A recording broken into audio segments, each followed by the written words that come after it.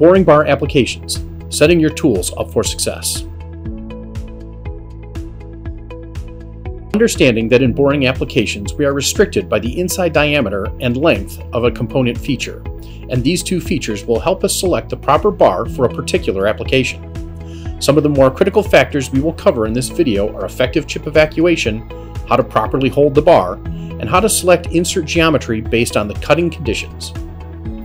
Modern high-performance boring tools must be clamped with high stability so as not to introduce a weak link in the setup. To start, it is important to clamp onto a minimum of 3 to 4 times the bar's diameter to help equal out the cutting forces. Split collars and sleeves are highly recommended to create the most contact between the bar itself and the holder. Be sure to use quality sleeves and adapters to support tooling optimizations. At high stock removal rates, the chips need to be evacuated from the hole at an increased rate so as not to damage the workpiece. Effective chip evacuation can be aided with proper coolant flow and high pressure systems. In some applications, it may be beneficial to bore upside down to allow chips to evacuate more freely as they are being pulled centrifugally to the outside walls of the bore diameter.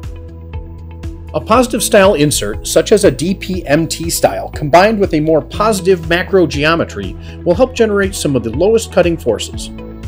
When our application allows us to, we want to choose the most positive geometry with a chip breaker suitable for the required cutting data. In some boring applications, you may have to consider a slight compromise on wear resistance and cutting edge strength in order to avoid vibrations or improper chip control. For semi-finishing and roughing applications in short overhang setups, consider a negative style insert such as a CNMG for example. Keep in mind that negative style inserts can consume up to 20% more horsepower on average and significantly create more cutting forces, compared to a more positive style insert that significantly reduces the cutting forces being generated. As we all know, every boring bar application is uniquely different. To make it easy to choose, we can refer to the recommended type of bar based on the maximum overhang to aid in proper selection of the boring bar material type shown here it is highly recommended to start considering a carbide or heavy metal bar as you surpass 4 to 5 times the bar diameter overhang. Internally damped bars have a significant impact on optimizing speed and feed capabilities and reduced vibration tendencies, making them a strong productivity booster in the long length to diameter ratio applications that exceed 8 times the bar diameter. The Patriot High Performance utilizes internally damped tunable technology you can see and hear the difference between the conventional steel boring bar and our Patriot High Performance boring bar. Patriot High Performance damped bar systems, up to 14 times diameter reach. Factory pre-tuned and full adjustable tuning capabilities based on your specific application.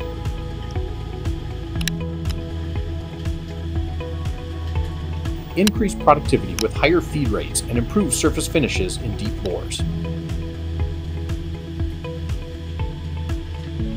Our modular system offers versatility to accommodate multiple applications such as boring, threading, grooving, and more. We also offer fully customizable anti-vibration bars through Arch Specials, making it once again easy to choose, easy to use. Training for Patriot High Performance and other Arch products is always available.